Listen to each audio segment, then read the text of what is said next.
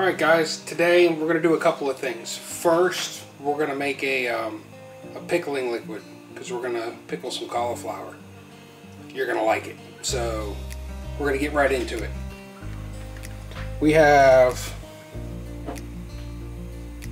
a tablespoon of cardamom, tablespoon of fennel seed, tablespoon of fresh ground black pepper, and a tablespoon of coriander seeds. Is we're going to toast the spices. It doesn't take very long at all to do. We're just going to toss them in, and it's a dry pot. You can see there's no oil in it or anything like that. It doesn't take long when your pot's freaking surface of the sun hot, right? You can already smell it, which is what you want.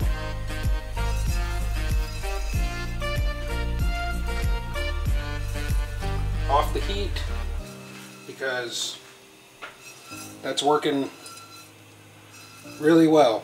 In fact, it's working probably well enough. Let's do that just for a minute.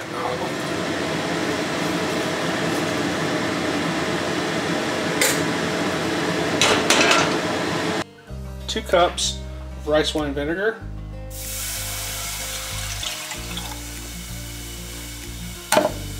Two cups of water.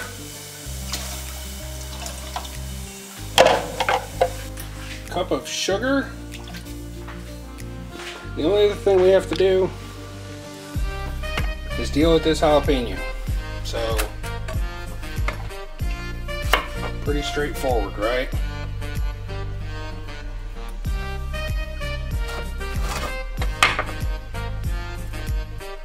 So I'm going to scoop all that out. Because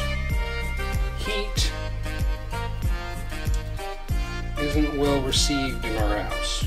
You see how easily that came out. And yes, when I'm done doing this, I'm going to wash my hands and I'm not going to put my fingers anywhere near my eyes because, ouch, that would suck. So just get that out. The seeds, I mean, there could be a couple of seeds in there. If you want to leave the seeds in, if you're doing this, to make uh, make yours a little bit more spicy, you can. We are not. We're going to give these a little slice. Like so. One jalapeno.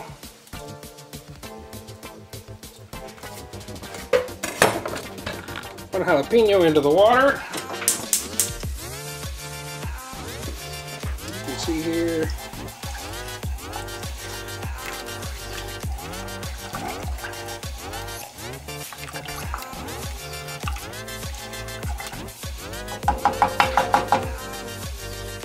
Get that to a boil. Alright, so we're going to call that a boil. Let's deal with some camera issues here. I'm going to turn that off. Our bowl. Okay. So we brought it to a boil. We've got our bowl, our strainer, and literally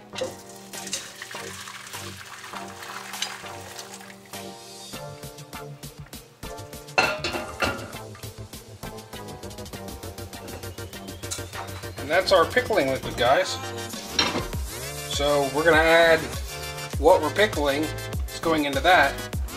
So a little bit of adjusting around here. Pickling that pretty thing.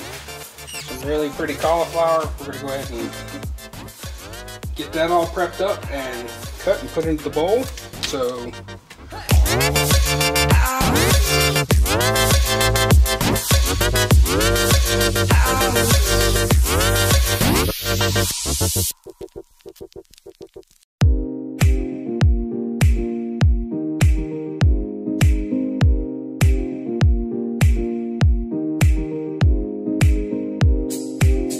into the pickling liquid and put a lid on it 48 hours later or when dinner served. But we're going to make sure that liquid's all over all of that stuff, okay?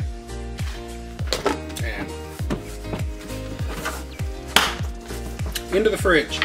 So we're to toast some some almonds. The pan, some parchment, cookie sheet, four cups. So,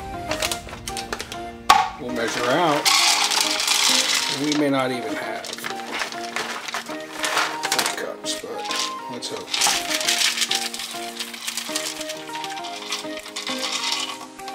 So that's two cups.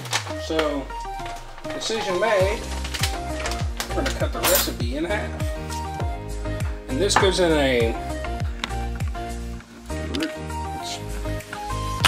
little bit of work here.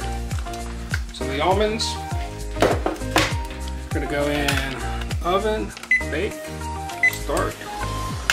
Once that gets up to 350, they'll go in there uh, until they're golden brown golden brown delicious. Come with me. Come with me. Some almonds into the oven because we got to keep an eye on those because they'll burn and that'll be bad. Three cloves of garlic, juice of two lemons, quarter pound of butter. So we're going to do a brown butter sauce.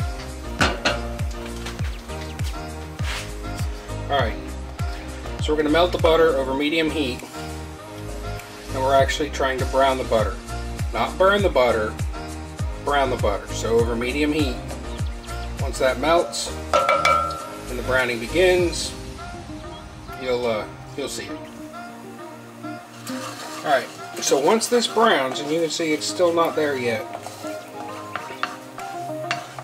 We're getting there. We're talking like 10 more seconds. Nine, eight, seven, six, three, one, you're done. Uh, like a drill instructor counts. Off the heat. Ends up happening. Alright, you see that now? See what color that is? It's like almost like a darker than a beer color. Um, unless of course you're drinking Guinness, then it's lighter than a Guinness. You can see now it's off the heat.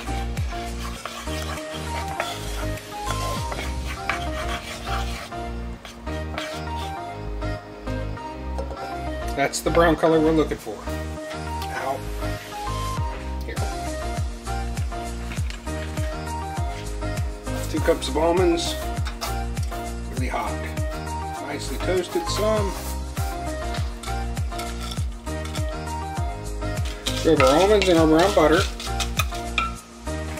We're going to add our lemon juice,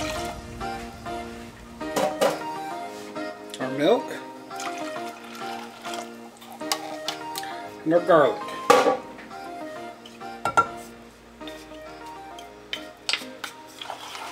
I'm give that a stir. So this goes for 20 minutes. I know you saw that and went, ooh, the milk separated because of the lemon juice, and it did. But we're going to fix that after it cooks for about 20 minutes. So we'll see you about 20 minutes. So what we're going to do is we're going to puree this.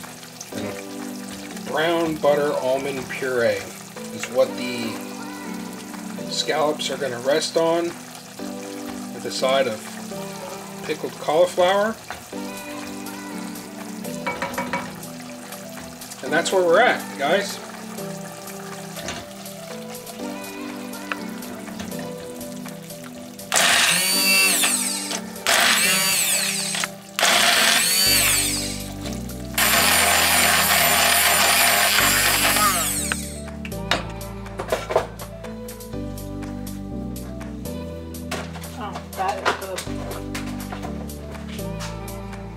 Pureed brown almond butter, or pureed brown almond,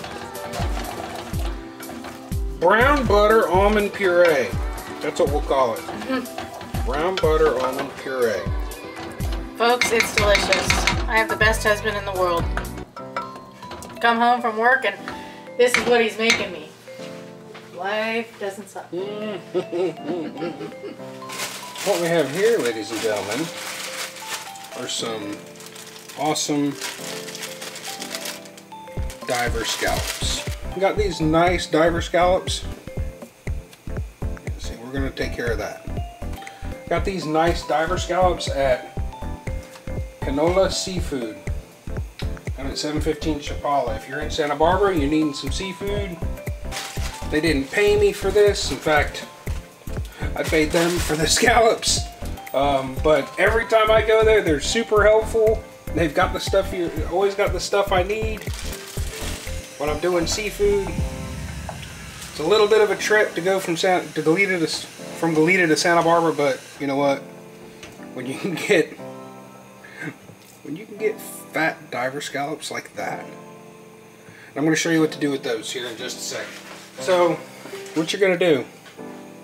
You see this this like muscle?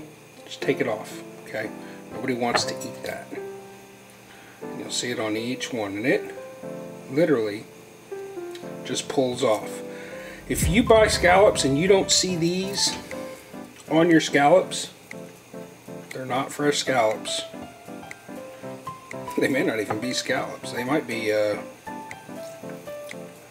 oh, I know they've used like shark fin or something past to, uh, just take a circle cutter and pop through it and in the shape similar to that and call it a see right there. You want to get rid of those okay? That there it probably tastes like scallop but it's a lot tougher than this and we don't want so these are bought as dry scallops and that's kind of what you you kind of want dry scallops you don't want wet scallops ones that are in liquid Frozen ones are going to be wet scallops most of the time. These are diver scallops. The difference between like diver scallops and bay scallops, so diver scallops or sea scallops, sea is big. So that's how you know the big scallops are your sea scallops. The small ones, they're about, yep, I got everybody with that right there. Got everybody with that. The small ones that are about like that, are bay scallops. Okay, now bay scallops aren't bad either. You know, but, I mean, to buy something like that, or something like that, I mean, that's huge, right? So, when you're pan searing, okay, you don't want, don't want them to be wet, right? So, take a paper towel and make sure they're really dry. You'll also notice I haven't put any salt or any pepper on them because salt's going to leach more liquid out and we want a really dry scallop for pan searing.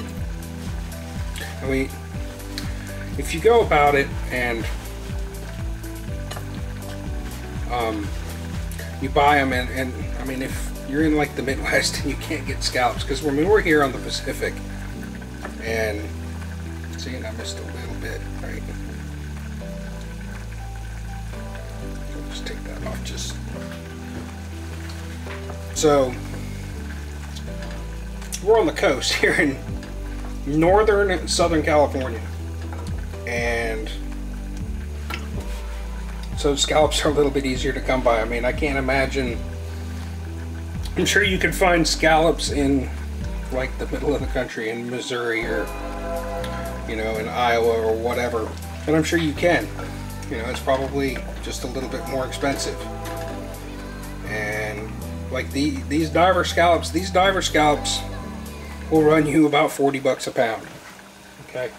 But the difference between diver scallops and like regular sea scallops is the way they're harvested. Diver scallops are harvested by a diver. So it's there's less environmental impact than there is when they just dredge for scallops. But with that comes the expense of a diver diving for scallops. So that's why they're $39 a pound and not $14.99 a pound like they are at, at like a grocery store that are frozen.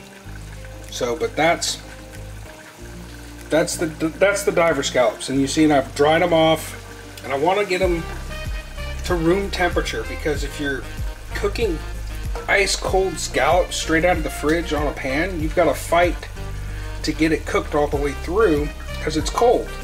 With that room temperature, you're only cooking these like two minutes aside, maybe three at the most. That's it. And we're gonna do that here in a minute. So you want to really pay attention to that. You know, they're these are they're still a little cold, but they definitely don't feel like they were in the refrigerator. Of course, you buy them and they're cold. That's fine. Um,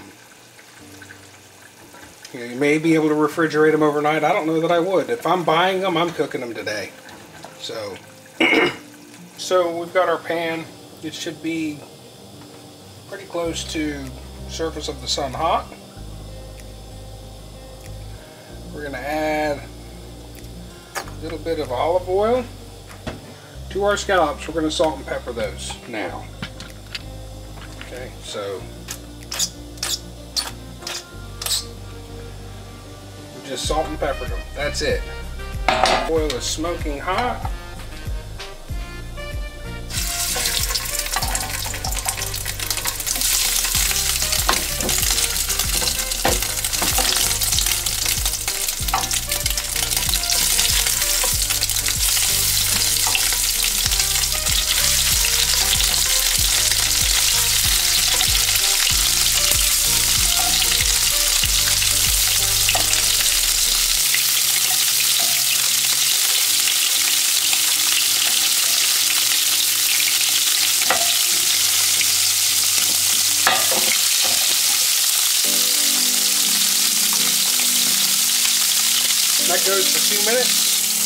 Now we turn. Look at that.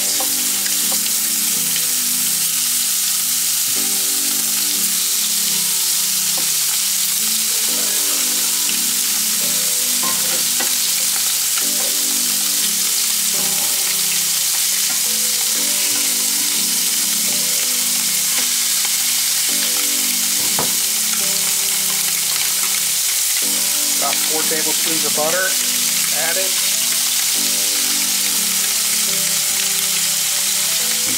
Constant basting. And they're on the heat still. I just got it tilted enough so I can get that butter.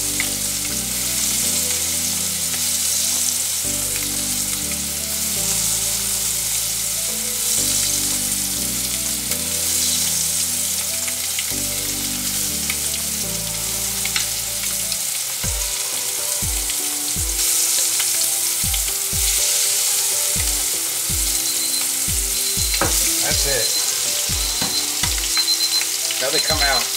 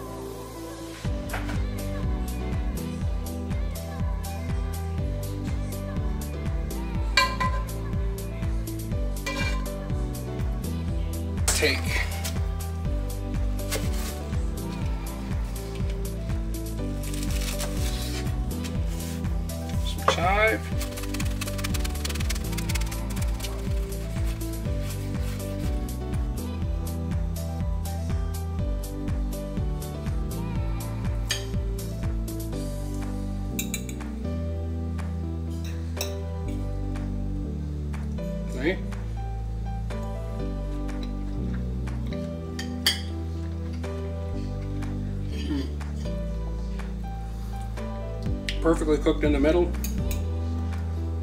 Almond puree is the bomb. Put that on a freaking sandwich and eat it. Mm.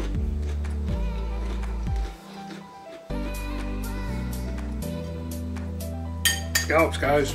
If it's available for you, you need to do this. Seriously, if you can get scallops where you live, make this make this. All right. We'll see you next week.